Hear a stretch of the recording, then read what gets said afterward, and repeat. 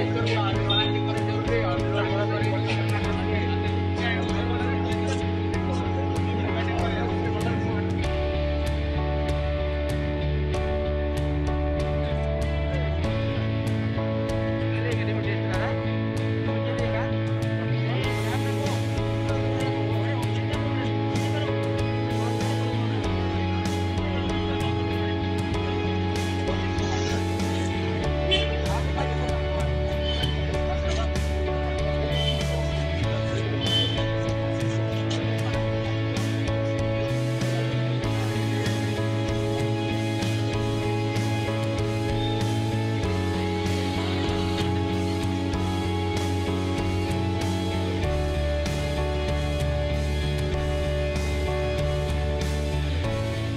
किंवा ते त्याच्यामुळे ते आपल्या जे कोरोनाचा प्रसार खूप वाढत चाललेला आहे तर त्याच्यामुळे आपल्याला ते ते थांबण्यासाठी तर कधीतरी जे सुपर स्प्रेडर आहे म्हणजे जे जास्त लोकांना ते इन्फेक्ट करते तर ते लोक शोध शो शोधण्यासाठी हे एक म्हणजे आपल्याला हे होईल.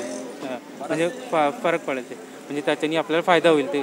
सुपर स्प्रेडर म्हणून जे लोक आहे जास्त म्हणजे ते पसरतात ते तर ते लोक बाहेर पण जास्त लोकांच्या कॉन्टॅक्टमध्ये येतात. तर त्यांची तपासणी करून आपण ते हे करतो सर या ठिकाणी पॉझिटिव्ह कधी मिळाला रुग्ण तर? याकडनं क- कोणी पॉझिटिव्ह निघालं तर आपण लगेच त्यांच्या उपचाराखाली आणणार आहे आणि ते त्यांना आयसोलेट करणार आहे आणि ते क्वारंटाईन सेंटरमध्ये त्यांना पाठवणार आहे. कुठे पाठवण्यात येणार ते आपल्याकडे ते बाबासाहेब आंबेडकर वसतिगृह आहे किंवा ते ज्यांची ऑक्सिजन वगैरे कमी असलं तर ते पण त्यांना आपण म्हणजे डी सी एच सी म्हणजे आपल्याकडे एक न नवीन हे आहे का म्हणजे कुठे कुठे ते आपल्याकडे जागा आहे तर ते पण आपण ते शो तिकडे हे करून म्हणजे बॅड वॅकन्सी करून त्यांना तिकडे पोहोचणार तिथे ऑक्सिजनची व्यवस्था आहे का?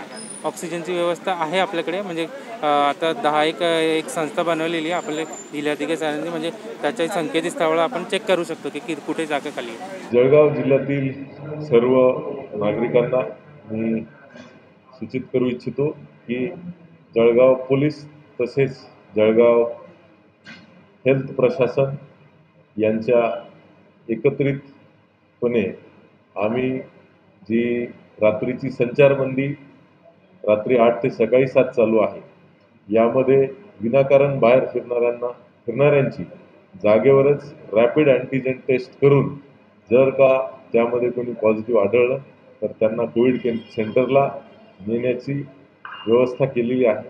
एकंदरीत नागरिकांना आमची अशी विनंती राहील की आपण विनाकारण रस्त्यावर रात्री आठ ते सकाळी सात या दरम्यान फिरू नये. अन्यथा आपल्याला या रॅपिड अँटीजेन टेस्टला सामोरं जावं लागेल. तसेच इतर कायदेशीर कारवाया सुद्धा आपल्यावर केल्या जातील.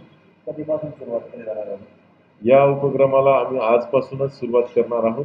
जळगाव शहर तसेच जळगाव जिल्ह्यातील इतर ठिकाणी सुद्धा आम्ही आमच्या पोलीस स्टेशनला तसे निर्देश दिलेले आहेत की आपल्या जवळच्या health facility P H C rural hospital यांच्याशी संपर्क साधून त्यांच्या सहकार्याने रात्री फिरणाऱ्यांवर वचक आणण्यासाठी म्हणून आणि पॉझिटिव्ह पेशंट शोधणे हाही हेतू त्यातून साध्य होईल त्याकरिता अशा पद्धतीची मोहीम जी आहे ती जळगाव जिल्ह्यात राबवण्यात येणार आहे.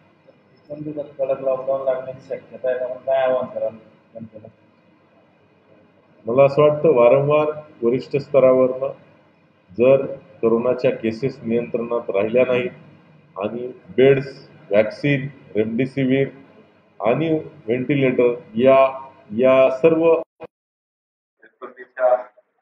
जर का व्यवस्थित कमी पडायला लागली.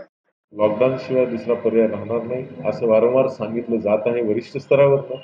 तर मी सर्व नागरिकांना हेच सांगेल की जळगाव जिल्ह्यात आपल्याला कोरोना नियंत्रणात ठेवण्यासाठी आपण दक्ष राहावं या नियमांचं पालन करावं. अन्यथा ही वेळ निश्चित येऊ शकते की पूर्ण लॉकडाऊन लागण्याची परिस्थिती आपल्यावर येऊ शकते.